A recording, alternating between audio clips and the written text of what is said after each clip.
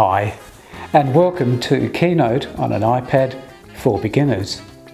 I'm Michael Cowling, and this movie is designed to get you started using Keynote on an iPad for making your own presentations. So let's begin. Tap the Keynote icon.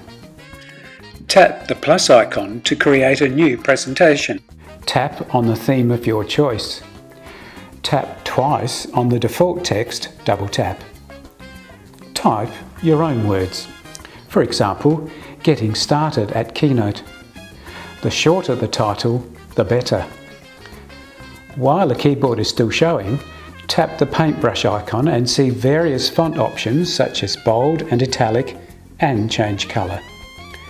If you want to make changes, then you will need to select or highlight the text first.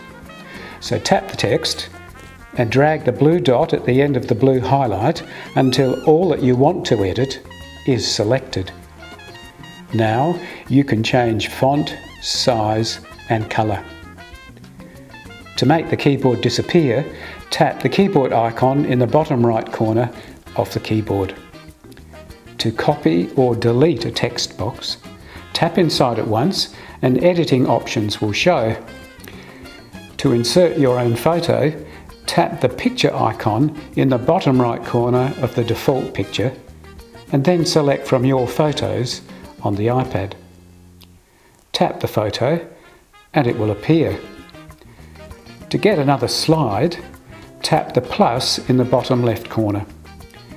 Tap your choice of slide.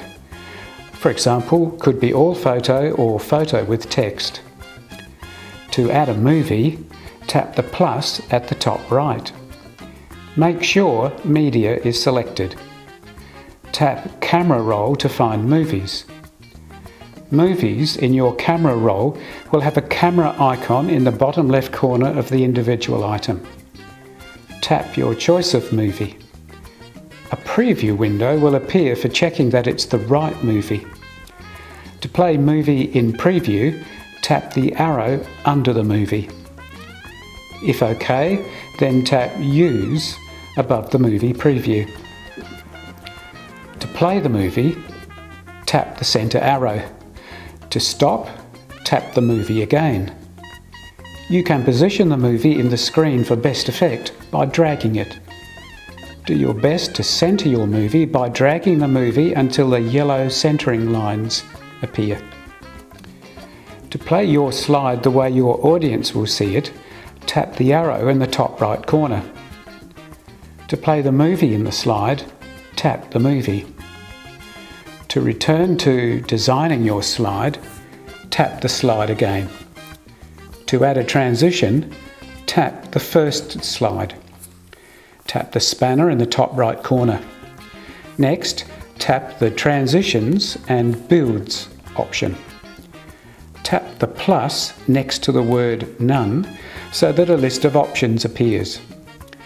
Tap on your choice and then see a preview of that choice. If OK, then tap Done in the top right corner. To name your presentation, tap Presentations in the top left corner. Tap Edit on the right, and then, when the presentations are gently shaking, tap the actual words for your new presentation which will probably be in the top left corner. When the editing window appears, in the empty space, type a file name and then tap Done. Next, in the Select a Presentation window, tap Done again and the shaking will stop. You can share your presentation. Tap the spanner icon and then tap Share and Print. For example, you can choose email or copy to iTunes.